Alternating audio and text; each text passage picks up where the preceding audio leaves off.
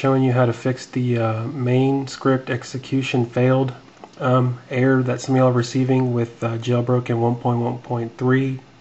Um, this usually comes from not updating your installer before you jailbreak it. Um, I'm going to go ahead and show you how to uh, fix that.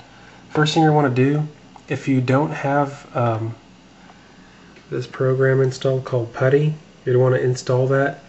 Um, what I would suggest doing is uh, go into your uh, My Computer, then your uh, hard drive, and then go into um, Program Files, and then right click, New Folder, and then uh, name that new folder PuTTY, P-U-T-T-Y, and then uh, go to my new site, iPodtouched.net, and uh, download PuTTY and uh, download it into that new folder you just created. I'm going to click save. So I'm going to go to my computer, and then uh, my hard drive, the C drive, program files,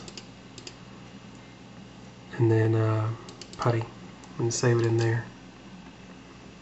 Uh, reason you'd want to do that is if, uh, if you put it in that folder, I'm going to close that, you can go into your uh, WinSCP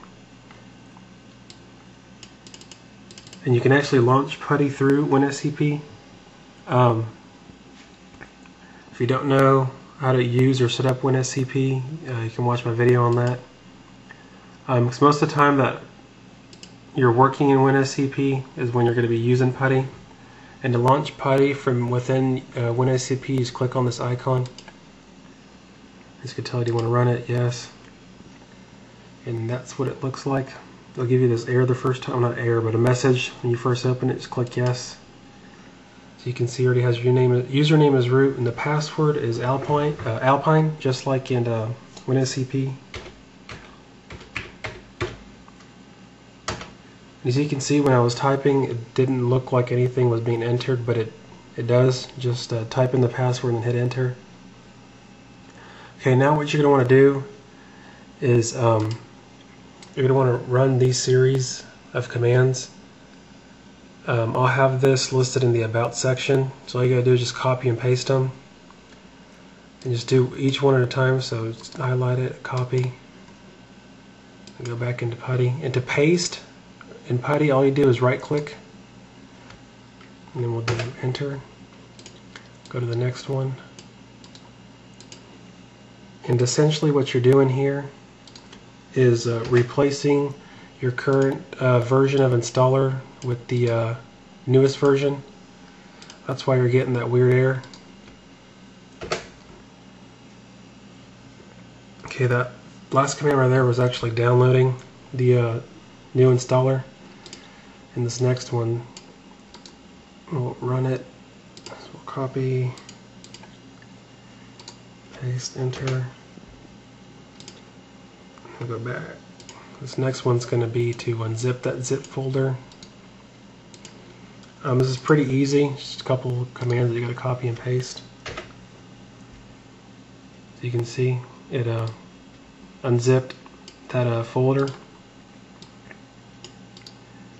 Um, but that's the reason why uh, you're getting that error. You just have an old version of installer that's not working and what this is going to do is just uh, download it, unzip it, install it, and then also give it the uh, proper permissions so it uh, will uh, execute fine for you.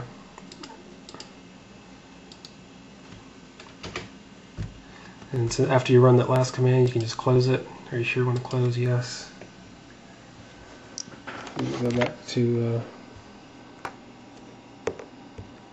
installer. Now I'll try to just install something real quick to show you that it's working.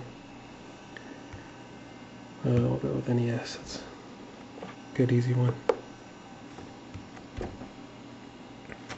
As you can see, it's uh, downloading just fine now. That's it. It fixes the uh, main script execution failed uh, error.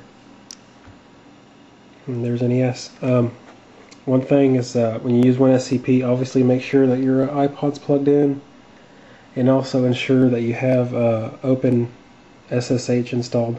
or some form of SSH installed. Uh, but don't forget to check out my new website, iPodtouched.net.